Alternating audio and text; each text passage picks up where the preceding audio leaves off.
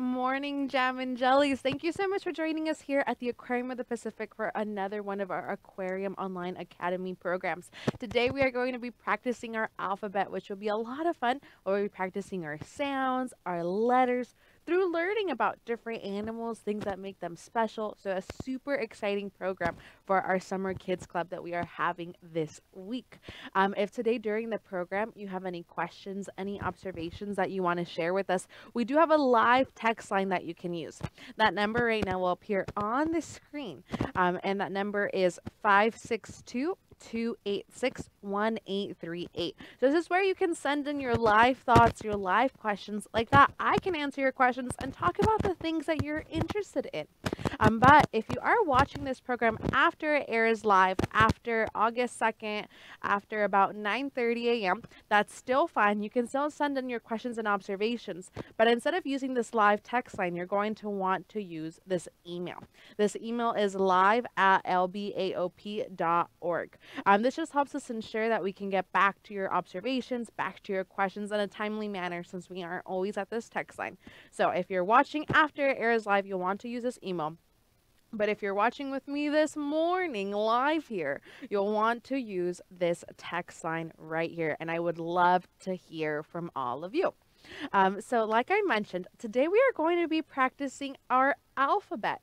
Um, so I do have a whiteboard and some markers with me just because I'm going to be writing out the letters, writing out the different animals that we're learning about today. So if you want to join in with me and do that, um, feel free to go grab a piece of paper, a pencil. If you just want to watch, that's fine. If you just want to make observations, that's fine. Whatever is the best way for you to learn is definitely what we want to make sure that you are doing. To start off though, we're going to start off from the beginning of the alphabet. So what does the alphabet start with? Hmm.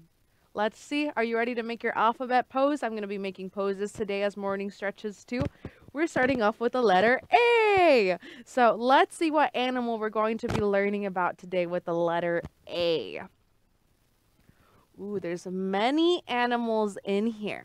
So what animal out of all of these starts with the letter A? Is it this one? No, that's a sea star. What does sea star start with? It starts with an S. and we just saw the fish. Is it the fish? Does the fish start with the letter A? No, Cynthia. That's the letter F.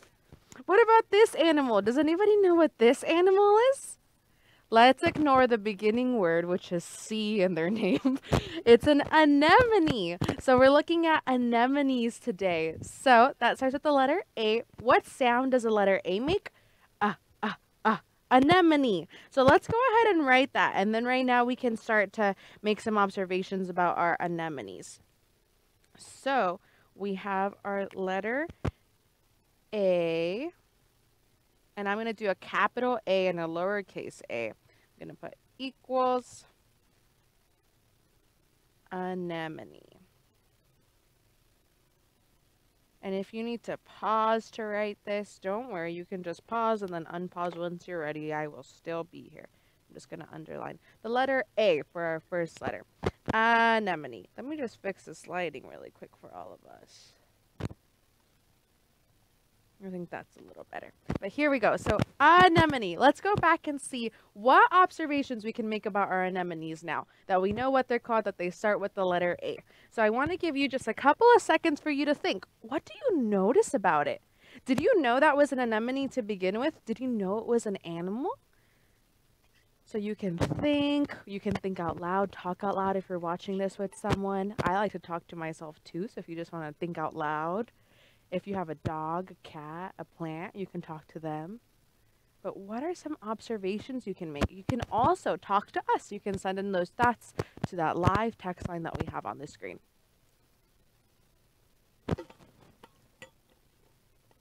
So one thing I always really notice about our anemones, especially in this video that we're watching, this is just so you know, this video that we're watching is of our anemones that live here at the aquarium.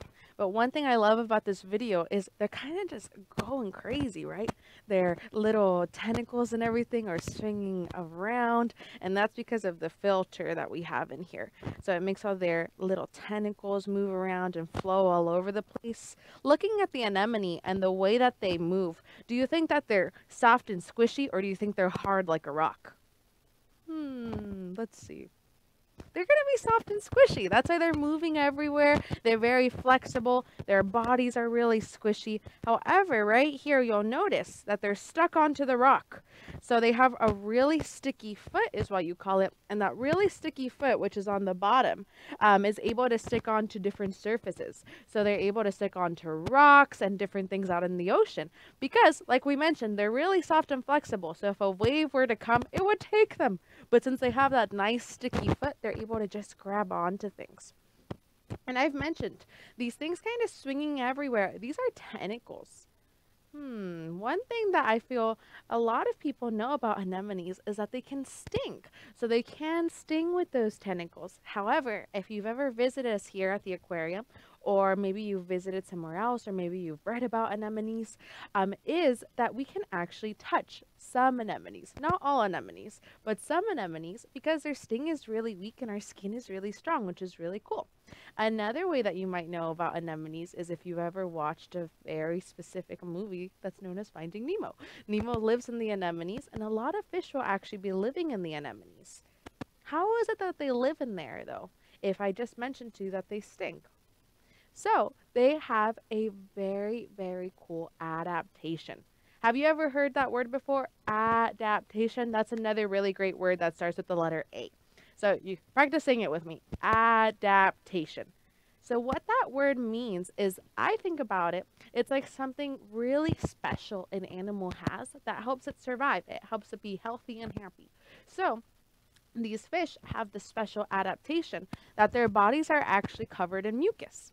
So let's say, don't actually do it, but let's say you were to blow your nose into your hand right now and you'd have a boogery hand, right? And you were to rub it on your forehead and you kept doing that all day long, you'd eventually be covered all in boogers, right? Be kind of gross. But that's what the fish do. They cover themselves in their boogers and their mucus, and then they're able to swim in the anemone. They're able to live in there because those boogers are super, super strong that the anemone can't sting them through their mucus layer. So that's how they're able to live inside of there. And I know, kind of gross. I think it's pretty cool though, because a lot of animals will use their boogers and their mucus in lots of different ways. So that's one way that that they're able to make homes out of anemones. So that gives you an idea as to why anemones are important out in the ocean. They're providing homes for animals. Some animals also like to eat anemones. So lots of different things that go on with these very special animals. So let's go ahead and say goodbye to our anemones because we're going to move on to our next animal today. So what letter comes after the letter a, you can show me with your pose. I'm trying to figure out what way I have to go with my pose. So our next letter, I was going the wrong way, is our letter B. So let's see what animal we're seeing with our letter B today. so this is our blue-throated macaw, Benny. So we have a double B. So blue-throated macaw, Benny. So what sound does the letter B make? Bah, bah, bah. So Benny is a super awesome bird who we will talk about in a second, but I want to make sure that we continue writing our letters. So here we go. So again, capital B, lowercase b, and Benny is a blue-throated macaw.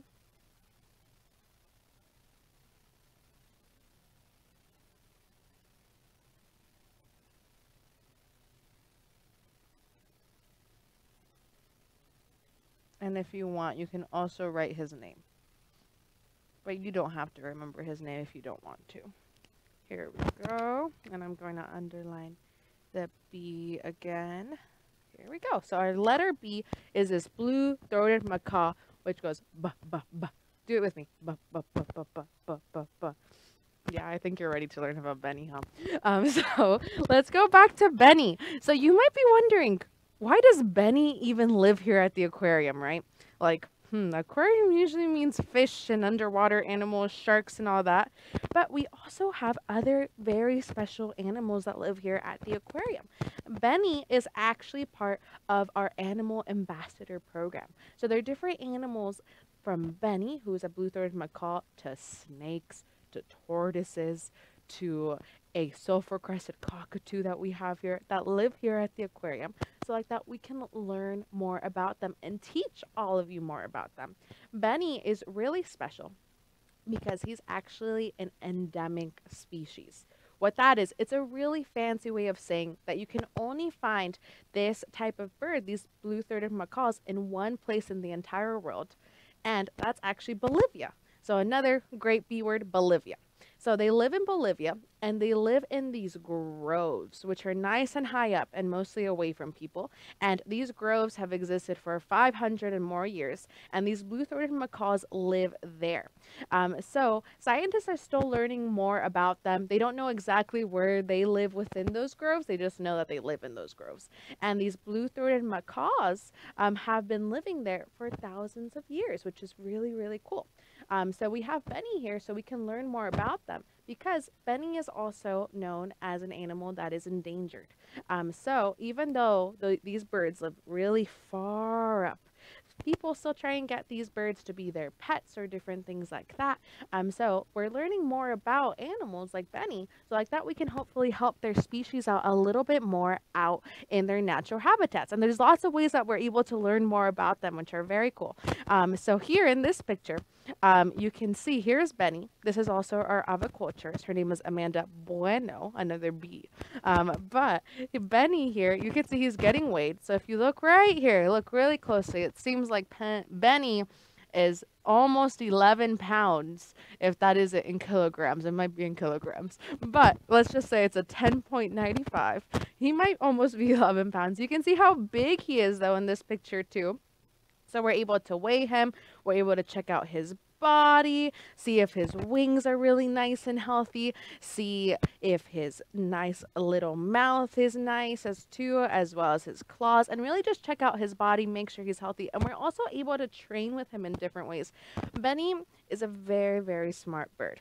Um, he lives in our barn that we have here at the aquarium which also might be surprising. We do have a barn, is what we call it, where all these different little um, birds, bigger birds, all those snakes I mentioned live.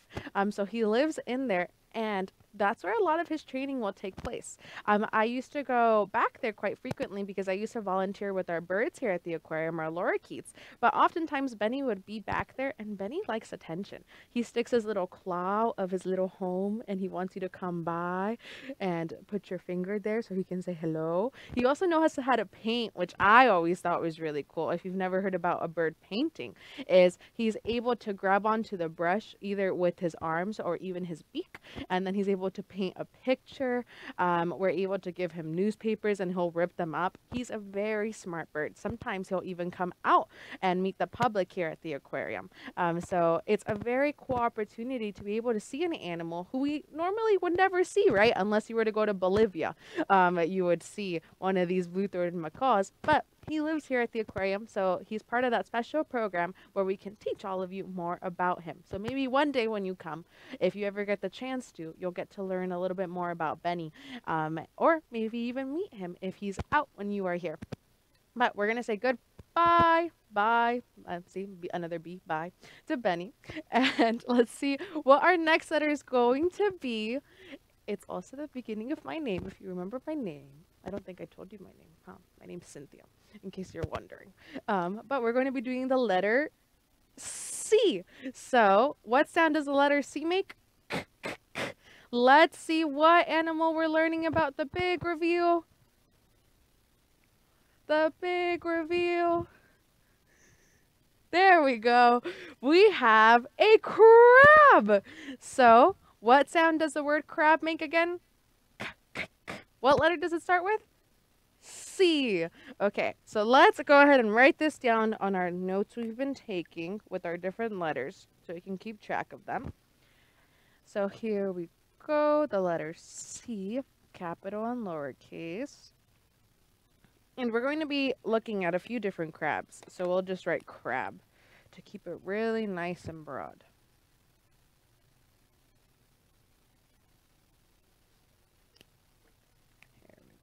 The letter C for crab. Okay, so far we have the letter A with anemone, which the letter A made the word the sound uh, uh, uh. We have the letter B with our blue-throated macaw Benny, which made the sound b b b. And now we're on our letter C with our crabs, which makes the sound k k k. What do you know about crabs? So there's a couple of different crabs that live here at the aquarium, but I would love to know what you already know about them. Um, we have all different types of crabs here, like I mentioned. This is one of my favorite, favorite videos we have of our crab so that live here. I'm going to give you a second for you to just make some observations on everything on this crab, and then I'll tell you why it's my favorite.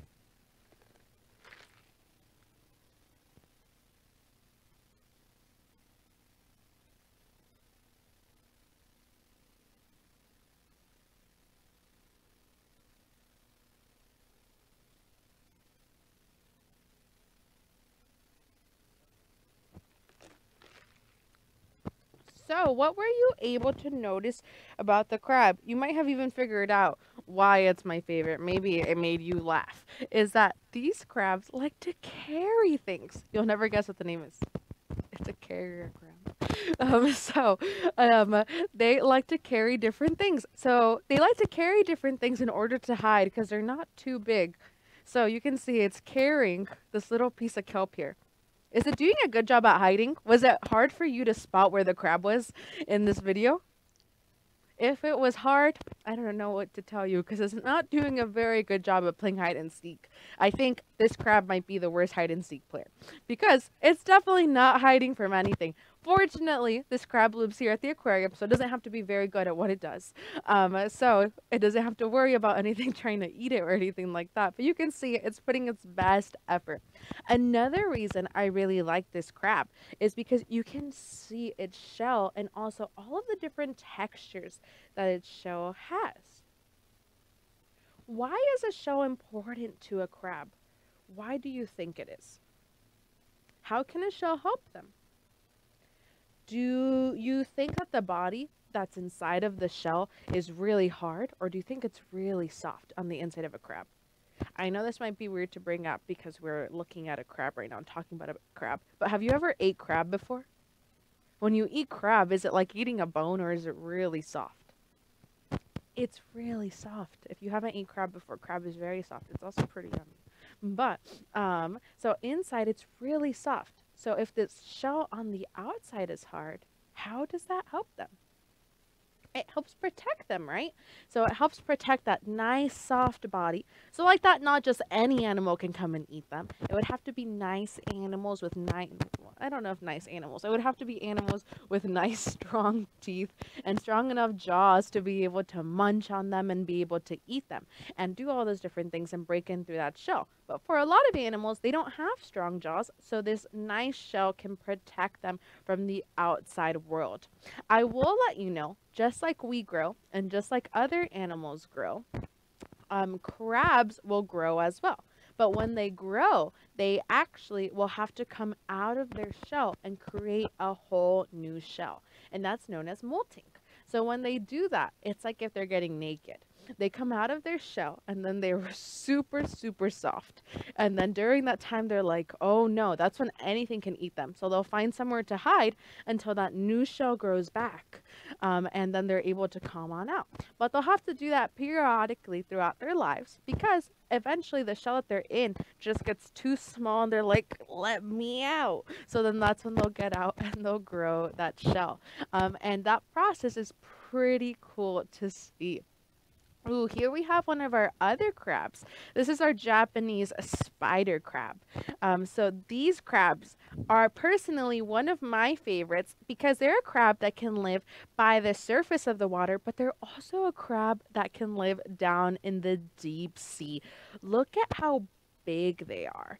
Um, so they can get fairly large in size and you can find them down in the deep sea. They like hanging out in the deep sea because these crabs really like to eat dead animals and they also like to eat poop.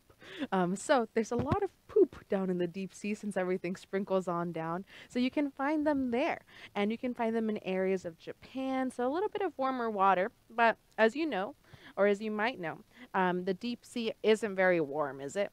It's not. So these crabs can also withstand temperatures like that. So there's crabs that will live in their shells, they'll explore different parts of the ocean. There's also other crabs, like one of my other favorite crabs. You'll learn I have a lot of favorite animals, friends, are like hermit crabs. So we were just talking about how some shells, how some um, crabs will come out of that shell and grow a new shell. But hermit crabs are a little bit different, right? So you can see in the picture and right here as well. So hermit crabs will find a nice shell on the beach and then they'll be like, hmm, I'm a little bit too big. So they'll come out of their shell and look, like I said, they they turn naked. And it's like, hmm, let me go and find a new shell that fits me. And then they'll find a new shell that's big enough for them and then they'll go back in there. I don't know if this was supposed to come off, friends. Um, but oh, okay. I'm getting the approval that it was supposed to come off, so it's okay. Um, but then they'll find another shell. I actually just learned what I thought, which I thought was really fascinating, is a lot of these different hermit crabs will actually line up a lot of times from the smallest hermit crab to the largest hermit crabs, and then they'll make like a little shell exchange line. So the smallest one will take off its shell, the second one too, the third one too, the fourth one too, and then they'll scoot on down and take that new shell that the other person had. Not the other person, that the other crab had. And then from there, the biggest crab, however, this was my question after I watched the video. There was no one for the biggest crab to switch shells with. So then the biggest crab will have to go and find its brand new shell. Um, and then from there, it will find its brand new shell and everyone will now have a nice shell that they fit into. So that's why if you ever go to the beach or to the ocean, it's important to not take the shells because a lot of times animals will need those shells to live inside and to protect themselves. And a lot of the times there's already little tiny animals living in those shells that we can't even see. So shells are really, really important to lots of different animals, but especially to animals like crabs. Um, and I think crabs are super, super cute um, as you can see the wide range that there are of them. But we'll go ahead and say goodbye to our crabs. So like that, we can go ahead and do another letter. So our next letter after the letter C, what is it? It's the letter D. So show me your pose. We're doing the letter D. What sound does the letter D make? Duh, duh, duh. So let's see what animal we're learning about with the letter D. The big reveal the big reveal. Here we go. What animal is this? Are you jumping with joy just like our dolphin? So, what sound does it make? Duh, duh, duh, dolphin. So, let's see. And let's go ahead and write our letter.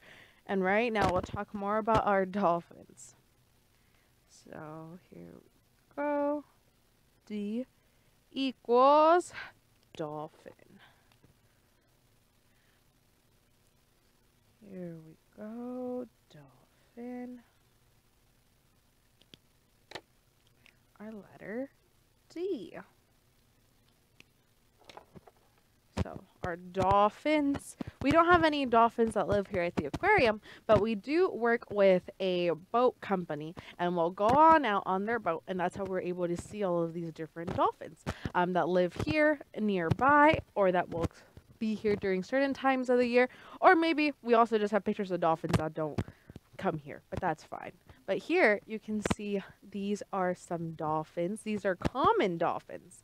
So they're pretty common here. um, I hope some of my jokes are making you laugh, friends, but it's okay. Um, so we have our common dolphins here. So what do you notice about these dolphins? What do you know about dolphins? So to start off, where are, are these dolphins hanging out? Are they inside or outside the water? They're outside the water, right? So they're jumping out of the water, which gives you a really good view of their colors, of their fins. I remember my first time seeing dolphins is when I started working here. And I went out on the whale watching boat because I was getting um, trained to go out and work. And I remember seeing my first dolphin in person. And I was so surprised as to how big they are. They can get to be around five feet. So I don't know how tall you are and you can't really see my legs. But a dolphin to me would reach me probably around here. But there's certain dolphins, um, other species that can get to be even bigger than me. I think it's kind of cool thinking about how dolphins can be bigger than you or how other animals can be bigger than you. And dolphins are one of those. Um, so lots of different sizes that they'll range through and also lots of different colors. The ones we were looking at had that cream grayish color. There's other dolphins that will just be more of a solid gray color like the bottlenose dolphins growing up, this used to be the dolphin I always imagined when um, I were to think of dolphins. This is the dolphin I would always see in movies. This is the type of dolphin I would always see in books and everything. So maybe when I say dolphin, this is what you imagine. I definitely do understand that. And they are very, very cool. They are a little bit larger than those first dolphins we were seeing. They can measure around eight feet, sometimes even a little bit bigger. Um, but you can see all these different fins that they have. So their top fins, their side fins, their tails. And here you can see their little blowhole. So why do dolphins have to come out of the waters, friends? What do we have in common with dolphins? Have you ever thought about that question? Is, hmm, what similarities do I have with the dolphin? Maybe you like to be sneaky Maybe you like to do different things because dolphins are like that too. But one thing that we have in common is that we're both mammals. They're a marine mammal. We're a land mammal, a mammal mammal. Hmm. Um, we can also go into the water. Are we also a marine mammal? Hmm, things to think about. Um, but dolphins are mammals. So just like us, they have to breathe air. You're welcome for that nice breath. So they have to breathe air. They also have hair However, do you see any dolphin with beautiful hair here? Have you ever seen a picture of dolphin with a full set of hair that's like, hello? No, right? So when dolphins are born, they are born with little mustaches though, which don't think it's like a full mustache that's beautiful and long. It's just a little couple hairs.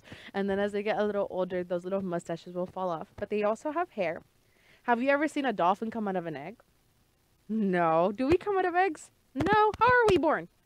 We're born from our moms, right? It's live birth. Dolphins will have that same thing. When they're babies, they'll also drink their mom's milk. And then the last one that we all that we both share is that we're warm-blooded. So that's the five things we really have in common with dolphins. I'm pretty sure there's a lot more too, depending on how you are and how your personality is. You might overlap with dolphins in different ways. Um, but they are pretty playful animals and they're really, really smart. They're really good at being able to capture their food and working together in their pods. So it would be really strange to see one dolphin on its own, depending on what type of dolphin it is. Um, most of them do like to hang out in pods. So in groups of at least 10 to 15, there's also some things known as super pods, and those are thousands of dolphins that like to hang out all together um, in just giant groups. So when you see them in those giant groups, sometimes they're active and working together and trying to get food.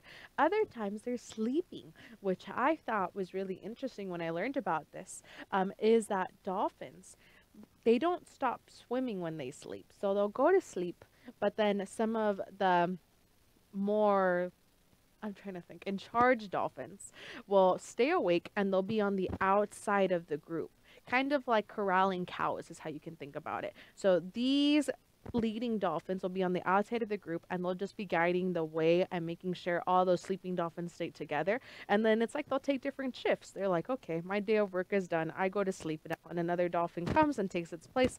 And that's how they're all able to rest and alternate, um, which I think is really, really fascinating. And here in this video, you can see some of the dolphins that are swimming about um, and they'll come up they'll get that air which you'll see from some of the other dolphins but you can see there's even dolphins underwater that don't come up at the surface all at the same time. So if you ever get the chance to go see dolphins out in the ocean or anything like that there's definitely a lot more dolphins in the water than what you're seeing at the surface all at once Okay, friends, it seems like we're all out of time, so I just want to go ahead and review some of the letters that we did today. So, we started off with our letter A with our anemone, which what sound did the letter A make? Ah, ah, ah. Then we did our letter B with our blue-throated macaw, Benny, which made the sound ba, ba, ba. Then we did the letter C with our crabs, which makes the letter k, k, k, the sound, sorry. And then we did our letter D with our dolphins that made the sound duh, duh, duh. So those are our four letters that we did today. But definitely feel free to keep exploring, friends. Try to think of different animals that start with different sounds. We also have our, our worksheets right now on our website. So if you were to go onto the Aquarium of the Pacific's website and go through our Summer Kids Club over to this page that is our alphabet page, you can find a worksheet where you can keep practicing your letters. You can write different animals um, that fall under different letters. You can draw different animals and try to see if you can figure out the rest of the alphabet with more letters, whether it be from ocean animals to land animals. With that being said, thank you so much, friends. For the rest of the week, we will be having our Summer Kids Club. We also have uh, two more programs today at 10 a.m., which is our whale program, and then at 11 a.m., which is a coral reef program if you want to tune in for either of those. But for now, goodbye, Gem and Jellies. We will see you tomorrow. Bye.